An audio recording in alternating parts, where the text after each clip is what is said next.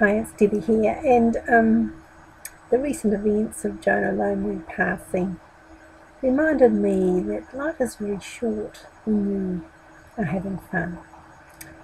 And I'm lucky I've got to my age, but many people do not. He was only 40, he wasn't a very well person, um, but he has left behind two young sons and, of course, a wife.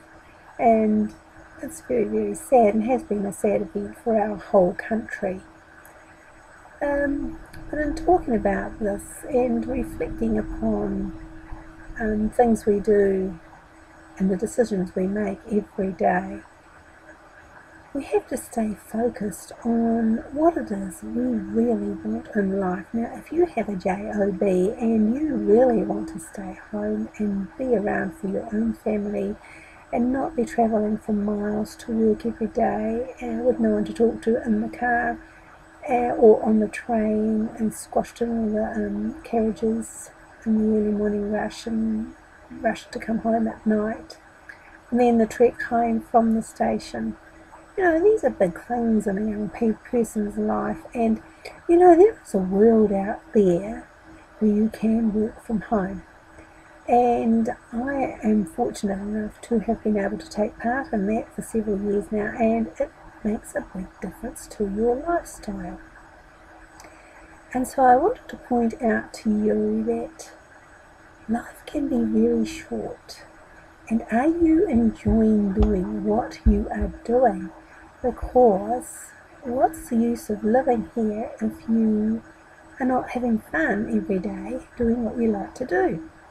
Now, I don't know about you, but my list of things that I would like to do while I'm still here uh, is very, very long. And I am sure that you have a long list as well. And I'm sure that most of it is taken up with sharing these wonderful times with your loved ones around you.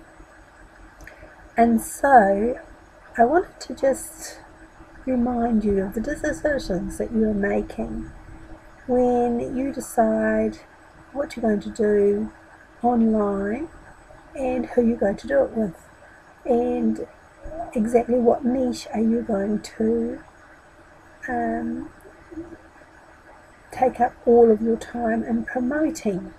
Uh, you might be a person who has several niches that you are interested in, well, that's great, but you've got to get started with one first, and that's the whole secret is getting started.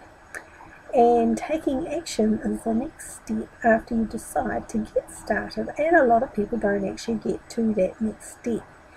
Uh, it's very easy to write a list of stuff you need to do and not follow the list, or just do the stuff on the list that is not productive or money making for you. And so these are the things you need to think about when you are making the decision that you want to work online, that you want to work from home, that you need to focus on what it is you're going to do to bring that money in to, so that you are able to stay at home.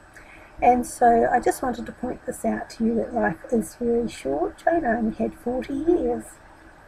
Who would have known that he had just got home from holiday on the Tuesday evening and then the very next morning was his time to leave this earth? So don't waste any more time.